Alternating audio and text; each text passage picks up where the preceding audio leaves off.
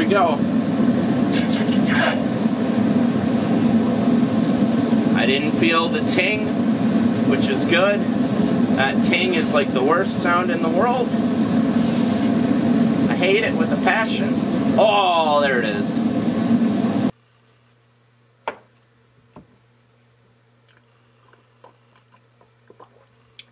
What's going on everyone? It's Elias here at the Rainy Forge, back with another video. I got a uh, custom order in the other day. and I was hammering out the details with the client, figuring out what the design's going to look like and everything. I just absolutely fell in love with it, and I'm going to have a lot of fun making this knife, I know. So, I wanted to do a video and take you guys along for the ride. So let's get started. Alright, so here's the drawing that I was sent.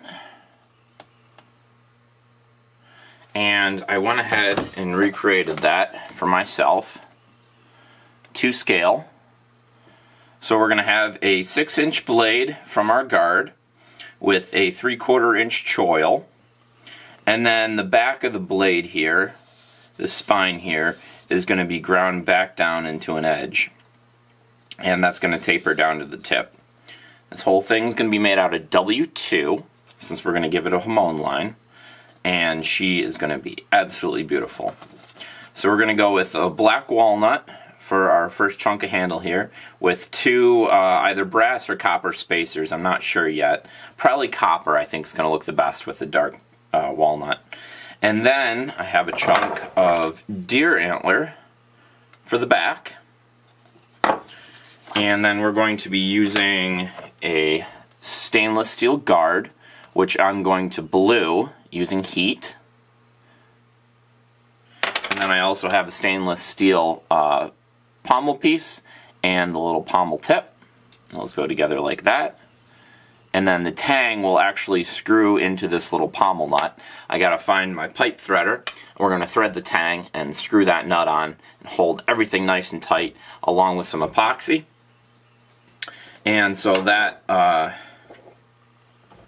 that pommel piece here is going to sit on top of the antler. This whole thing is going to be filed down nice and flat.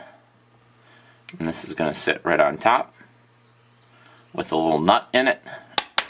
And screw everything nice and tight. So, grab my design, pop right on over to the forge. Alright, so I got a bar of W2 here, nice and hot. First thing we're going to do is forge out that tip.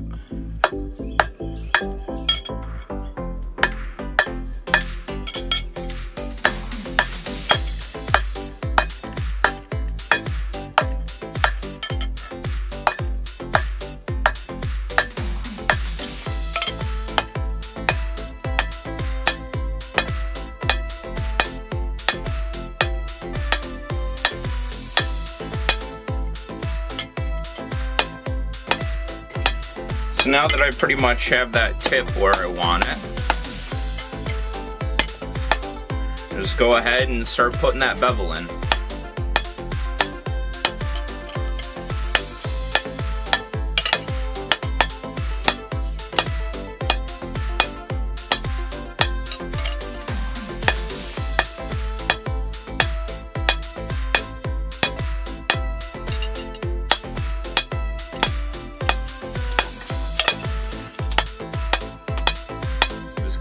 Drawing that blade out.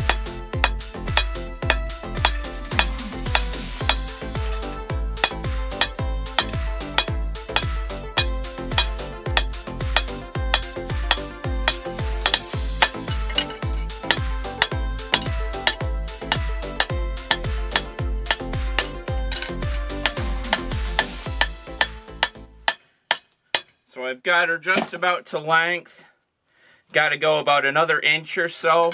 And you always want to make sure that you make it a little bit longer than your specifications, just so when you go to grind um, and you take material off of the knife, you don't suddenly go from six inches to five and three quarter and wonder what happened. So we always go a little bit larger so that we can always grind material away if needed, but we can never add more material. So always a little bit longer.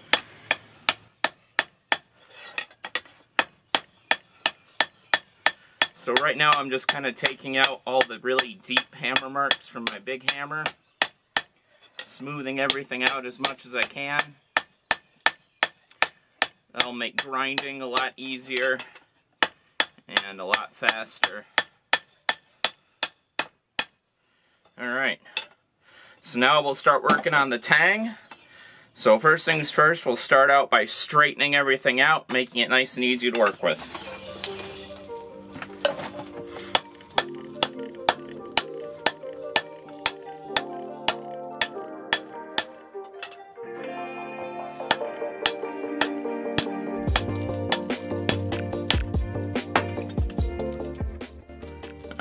That's straight enough for now. So since I've already got the tang uh, down towards the middle on this side, I'm just going to work this side uh, with the cross on my cross peen hammer.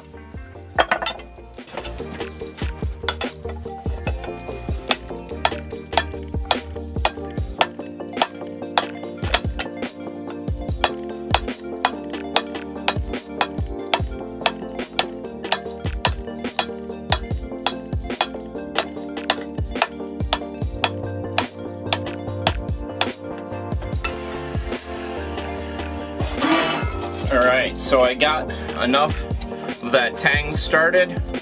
Gonna go ahead and cut it off.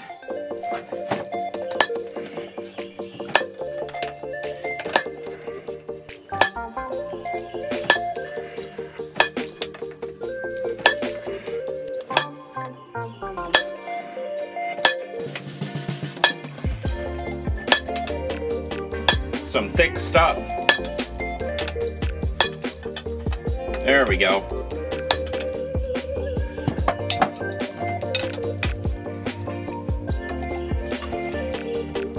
We'll go ahead and throw that back in the forge. Flatten it out. Now, start tapering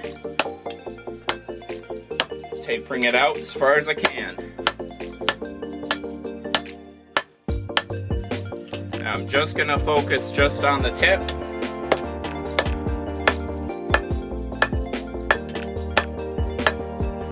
Just really get that tapered down.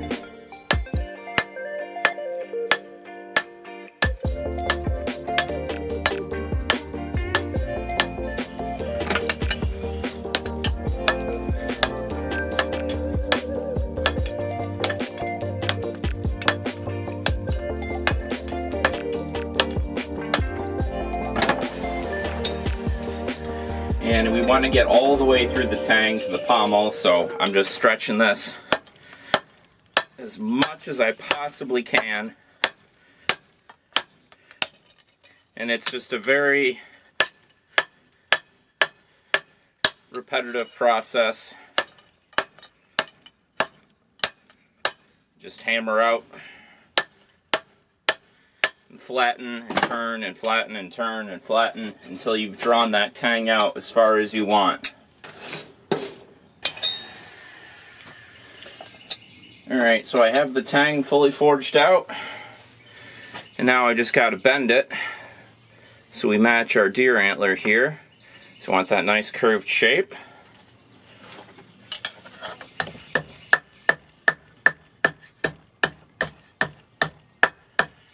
And I'm just going to kind of approximate what I think it's going to be. And then we'll match it up and see where we're at. So I should probably do it the other way, how it's actually going to go. Also almost dropped my deer antler. Alright, let's match that up. So it needs to be a little bit less curved right at the end. Heat that back up. Alright, straighten that out a little bit.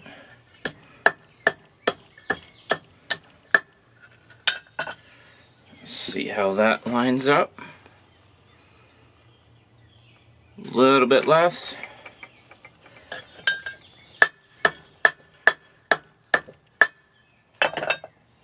Give that a try. That's just about what I'm looking for. Take a tiny bit more out of the tip here.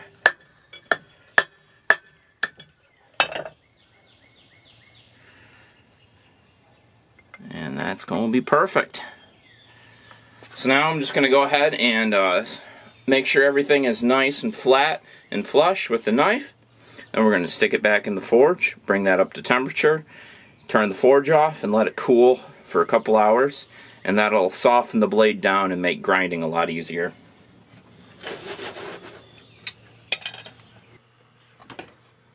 So here's our knife and I've got it kind of laid out on uh, my design here and we're pretty stinking close to where I want to be. Go ahead and throw a tape on here.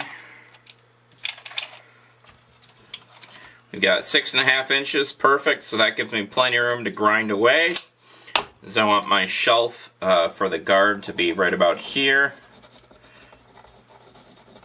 And we're going to take out, you know, all this material here, make a really nice, clean, flush shelf for the uh, guard.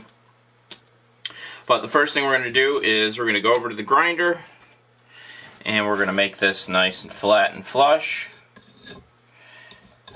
And then get that profile, that nice kind of clip point, drop point profile there and a little bit of a swoop here.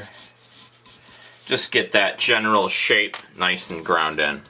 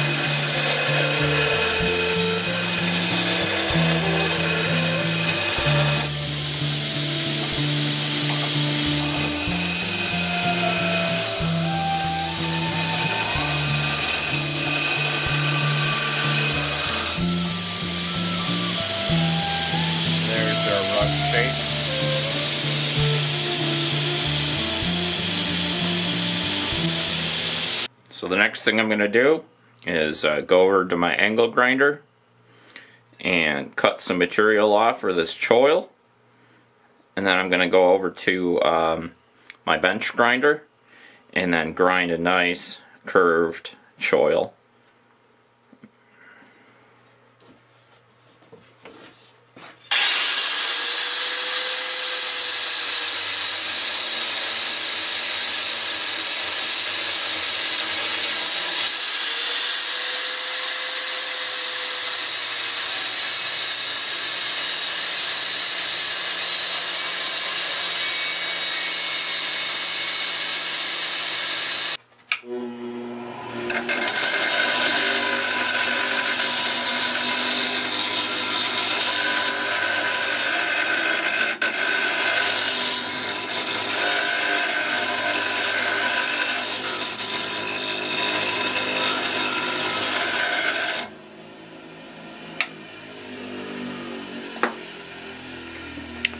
So there's that choil ground in.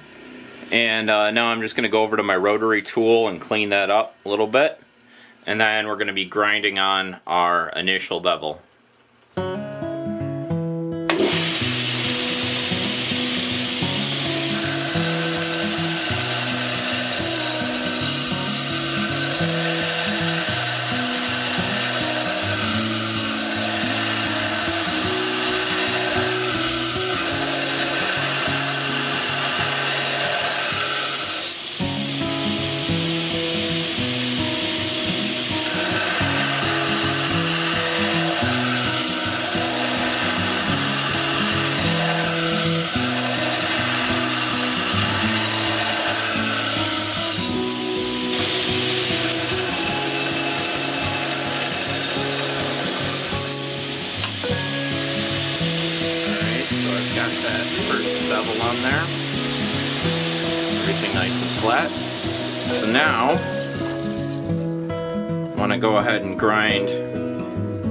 The spine there. So we're to grind that. We're to grind that right there.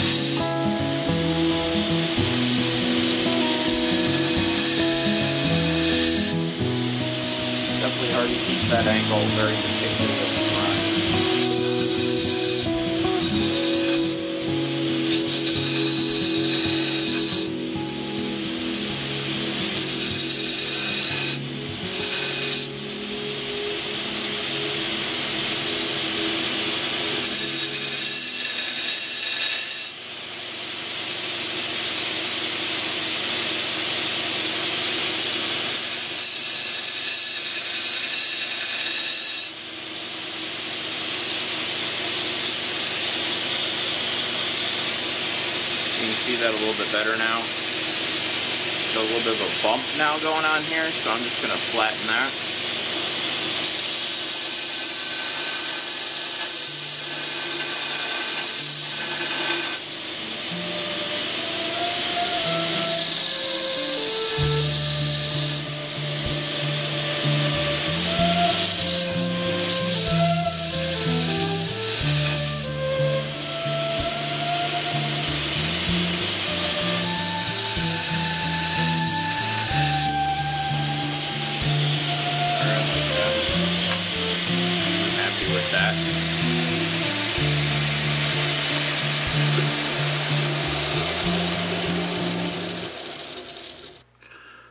So the next step I got to do with this knife is uh, grind my shelf down to size so my guard will slide on there.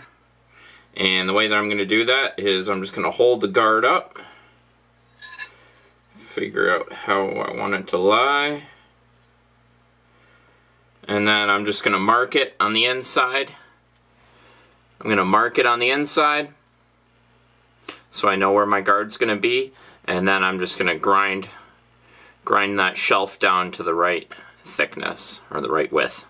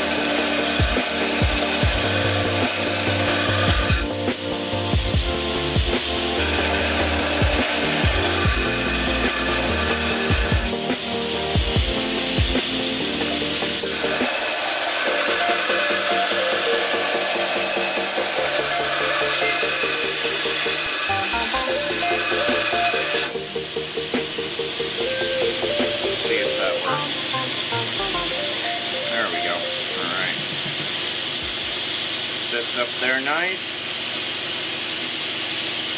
Want it like this.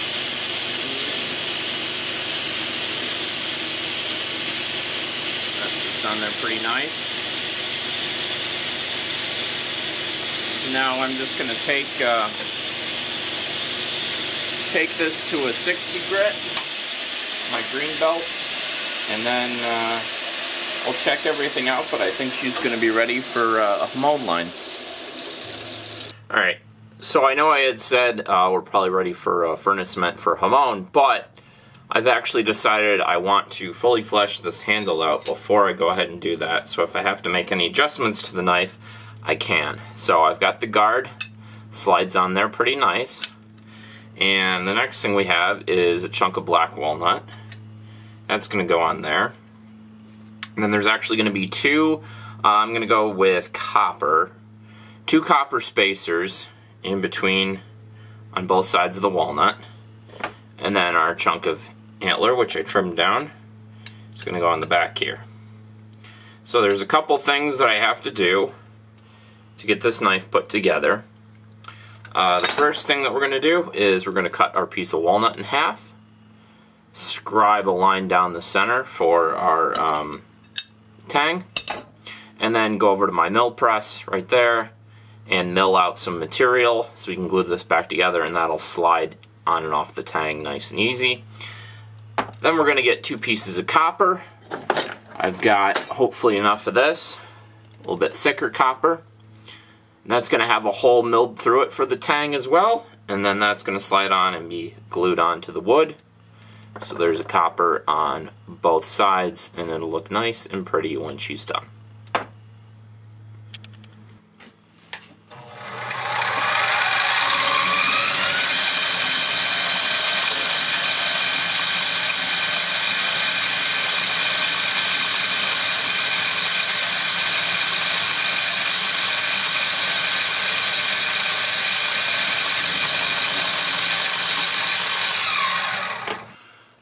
So there's my two halves of that. We'll glue them together, clamp that up, let that sit. So next up on the list of things to do is I have to drill out the antler for the tang to go through. And while we have a curved antler for the end of this knife, and we have our nice curved tang, which should fit in there beautifully, but our drill bits are straight. So how the hell are we going to do a nice curved hole through the antler? Well, we can't. Long, long story short, we, we, we can't. So what we end up doing is we do exactly what pipe makers do when they're making a pipe. So I'm going to rough, uh, actually do it with marker here, rough sketch out our uh, antler here figured I'd freehand it, but why when I have the antler right here to kind of trace. And we actually can show exactly what we got going on here. So here is our antler.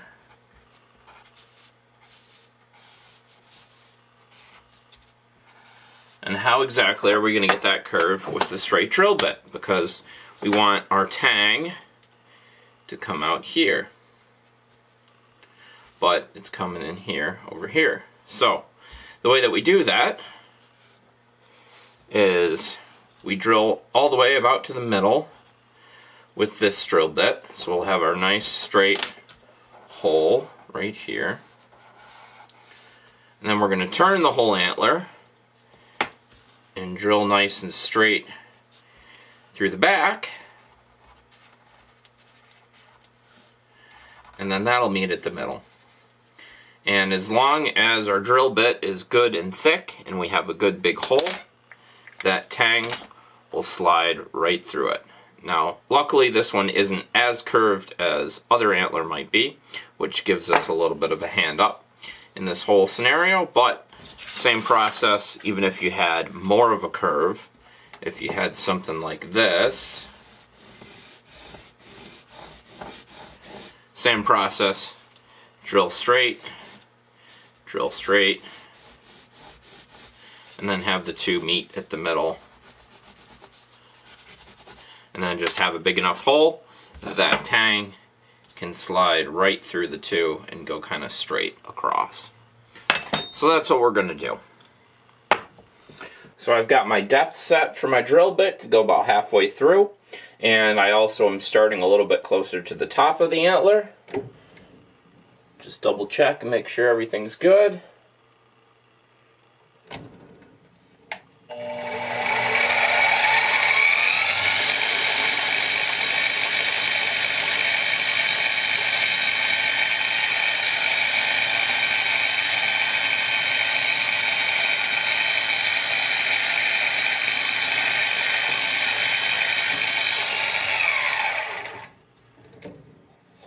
There's my first hole. Now we'll flip it over. Do the same thing on the other side.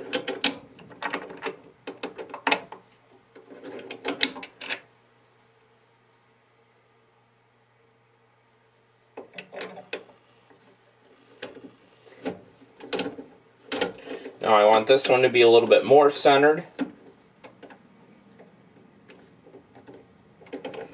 And I actually want this to come back a bit. Probably going to set it like that.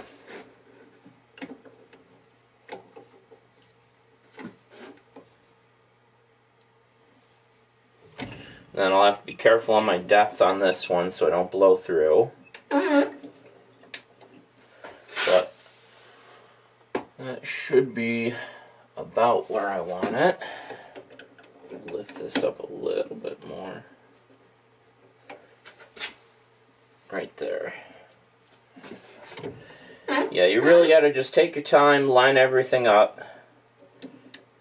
Measure twice, drill once.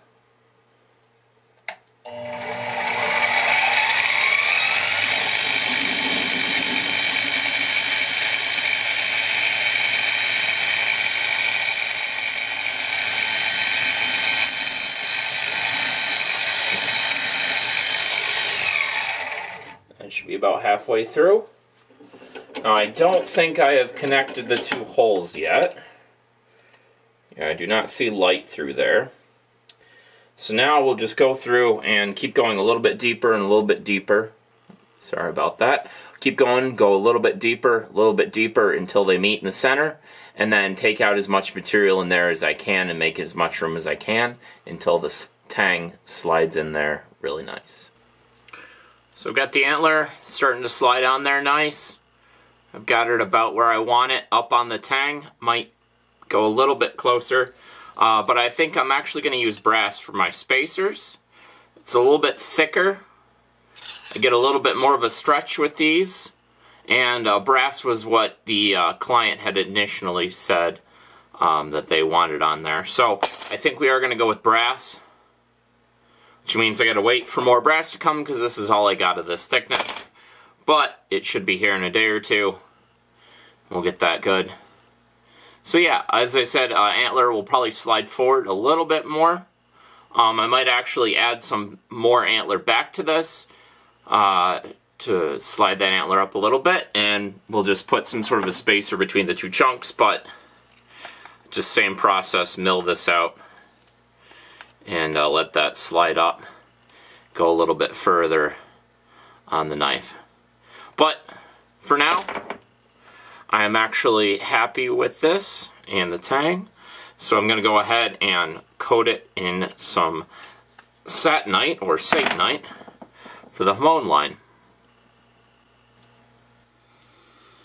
So I have my satinite or satanite, whatever you want to call it, furnace cement, and we're going to apply that to the spine of the knife and put a nice little pattern in there for the Hamon line. Now, if you want to hear more about Hamon lines, please go ahead and watch my last video on Hamon lines.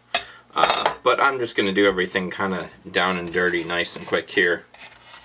Do a good job, obviously, but I'm not going to go super in depth with what I'm doing. Like I said, you can watch my other video if you want a little bit more of an in-depth video on how I do a Hamon line. So we're just going to apply pretty good amount of furnace cement on the spine here.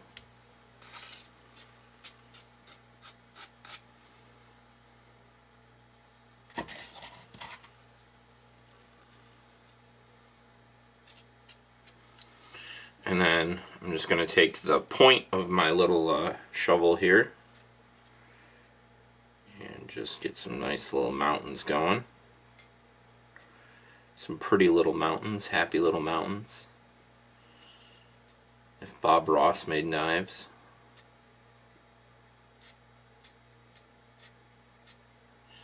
There we go. And then we'll flip it over.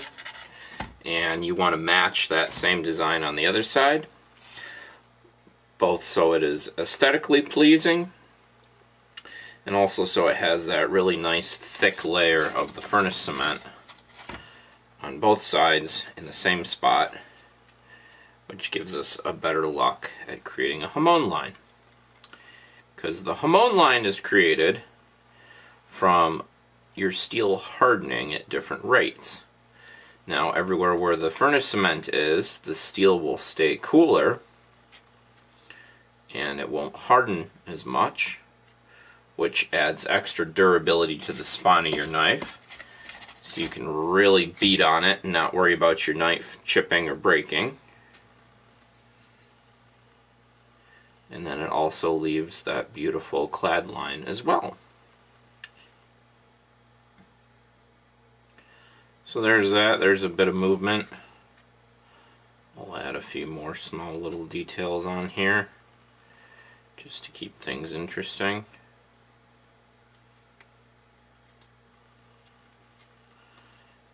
There. So now we're going to leave that to sit overnight and dry and I will be back with you and we'll heat treat this knife first thing tomorrow morning. So here's our knife, covered in the furnace cement. Let's get rocking.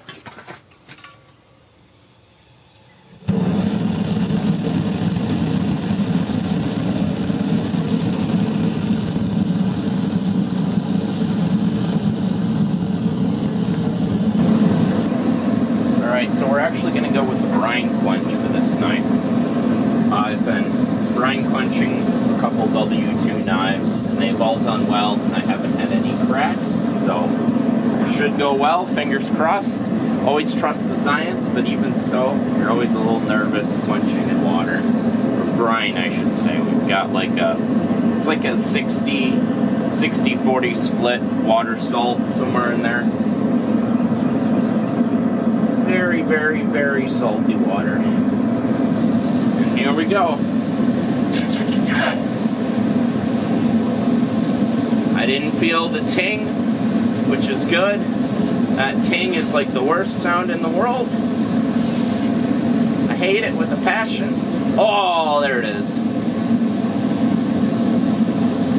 I heard it. I heard the ting. Let's see what happened.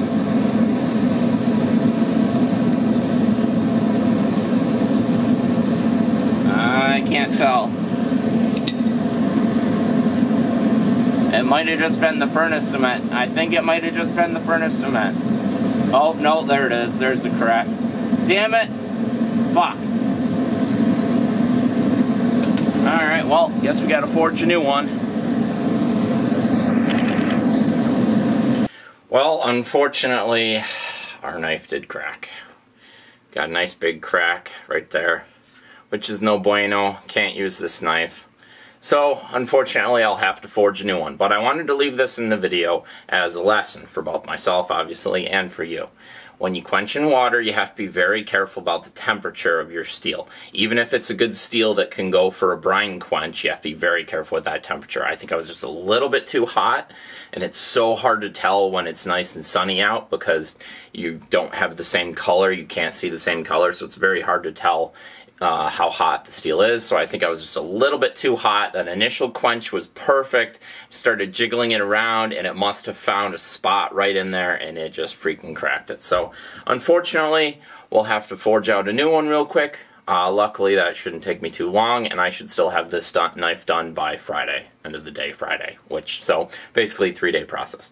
In any case, wanted to leave that in there, show you what had happened. I'm going to go forge a new one, and I'll be right back with you.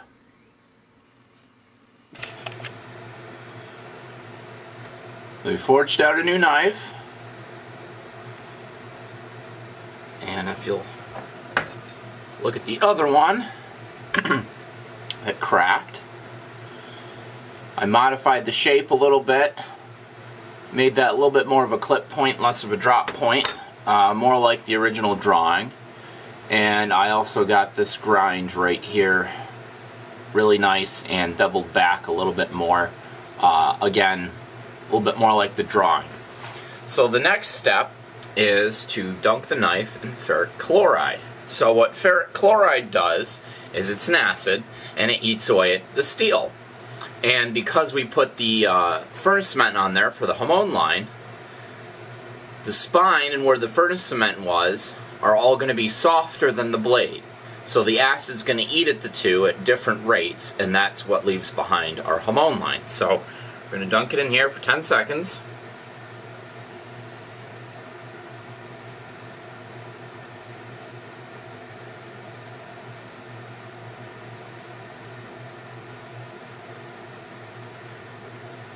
and pull it out.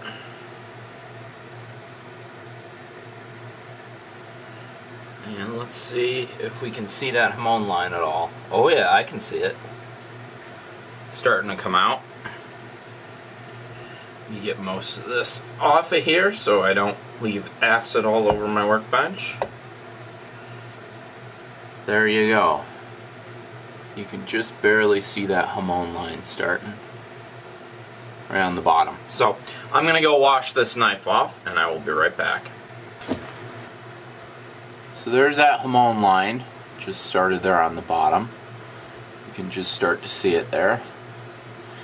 So the next step is we take our good old heavy duty rubbing compound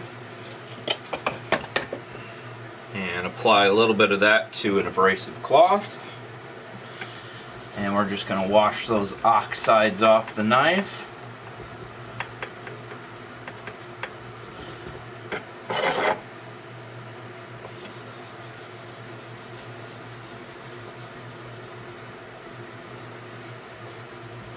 No reason to be too, too particular about it. You just kind of rub it down, clean it off. We're going to end up doing this process three times in total.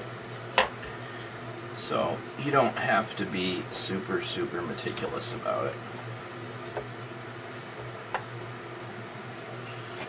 Alright, now we go over to the buffing wheel and clean the rest of that off and we'll be able to see that Hamon line on there.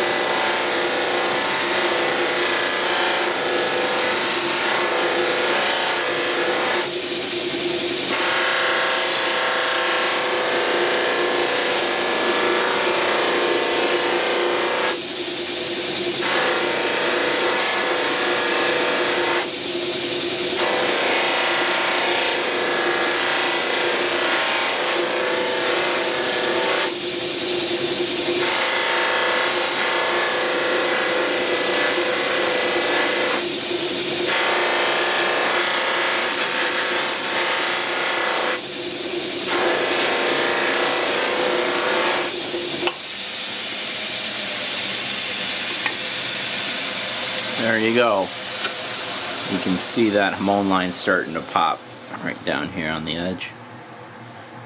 It's going to look pretty sweet. Alright, so there's the final Hamon line on there. Sorry about the light reflecting off the blade. I don't really have a good place to show off the Hamon without that happening. It sucks that it's as low as it is. I wish it was up higher so you could see it a little bit better, but you know, W2 steel sometimes can be weird. Um, I put the furnace cement all the way up here and the Hamon line's all the way down here, so sometimes it just happens. Luckily, you can see it enough and it looks absolutely killer. And I'm just going to try my hardest to not lose any of that when I put the final edge on there. But, so, next thing the handle. Alright, so I have all the pieces for the handle. And we're going to go ahead and slide this on. I've got my little walnut chunk here with an arrow showing me exactly which direction it goes. Just turn this and monkey it on there. Get that lined up nice. And of course, I actually went with the bigger piece of antler just to give me a little bit more room on the knife. I wanted the handle to stick out a little bit further than the smaller one did. So uh, actually I can show you the smaller one if I find it. There it is. I can actually show you with the small one. Um, if we went with that, that's how big the handle would be. And that actually doesn't look too bad. You can hold on to it nice there and put your finger here in the choil and that actually works pretty well. Um, but I've decided we're going to make it a little bit longer, give you a little bit more grip on there. Just an extra, you know, inch or so of grip on the end. You can still use that choil nice. And I've got the tang all lined up perfect for uh, my pommel guard and the little nut. So the next thing that we're going to do for this knife is I'm going to take the guard, the pommel, and the little pommel cap, and we're going to turn them blue. Now the way that you turn steel blue is you can either use cold blue if it's carbon steel, or you can use heat. And since we're working with a stainless steel guard and pommel, we're going to use heat. So I've got my little uh, ring pliers and I'm using those so that I can hold the guard on the inside and heat the entire outside without worrying about having a little plier mark on the corner from grabbing it where it didn't heat the same. So I'm going to go ahead and turn on my torch.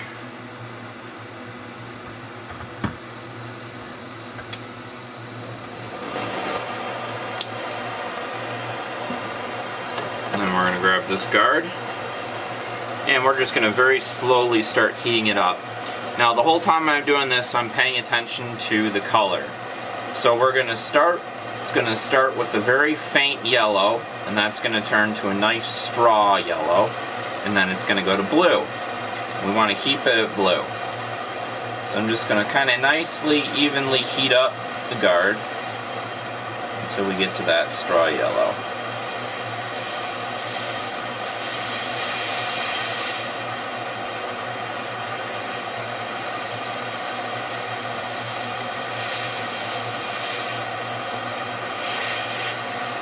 And if this takes too long, I did also consider putting it in my uh, tempering oven as high as it will go just to get that initial temperature into the piece because the torch might take quite a while to heat up.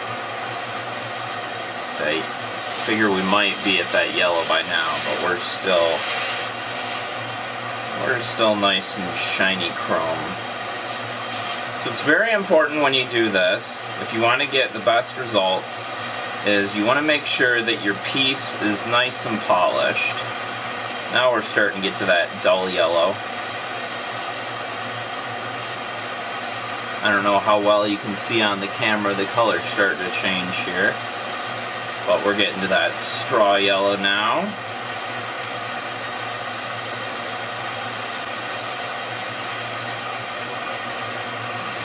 That heat going.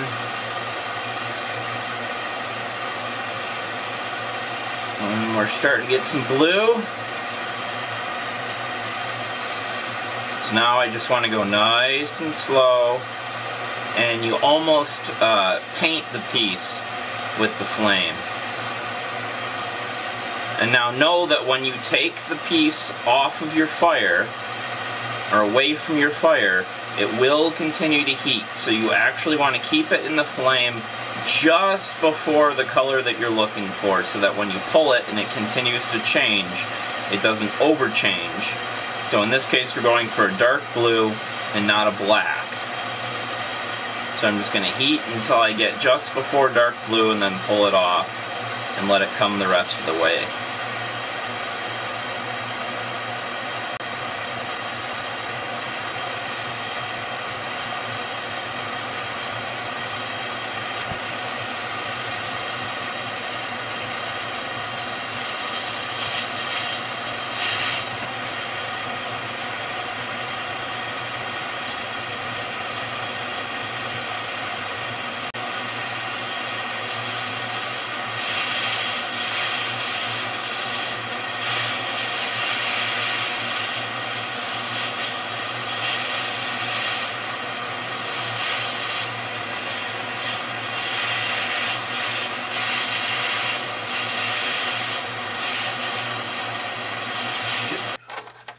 So I got the uh, guard and the pommel as blued as I can.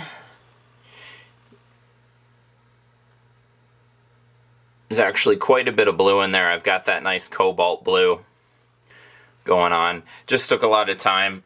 Definitely important. Everything is as mirror polish as you can before you start applying heat to it. That gives you the best results. So to glue everything together, I'm going to use uh, two-part JB Weld and instead of my two-part epoxy. And the reason for that is I have a lot of metal on metal connections and when you have metal on metal connections, the uh, epoxy does okay, but it doesn't do nearly as good as the good old JB Weld. So this takes a little bit longer to dry than the epoxy, but always, always gives you a better bond.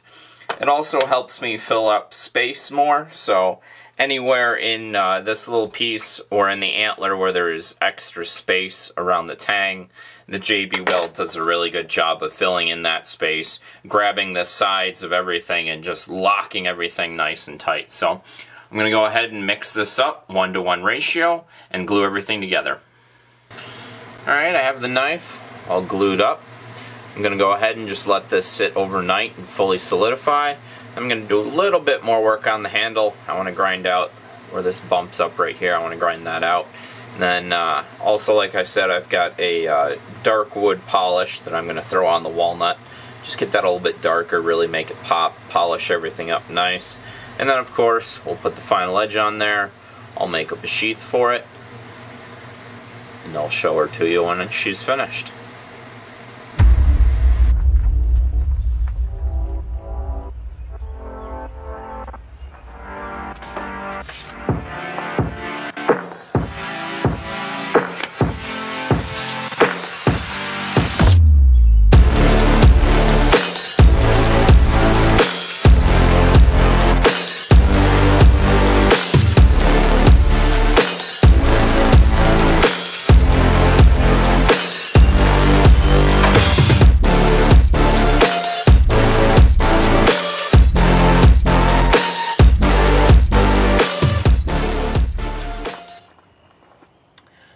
Watching till the end.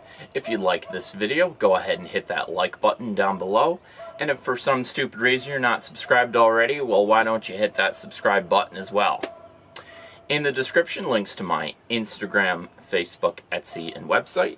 I do all my sales over on Etsy or on my website, www.therainyforgeblacksmithy.com.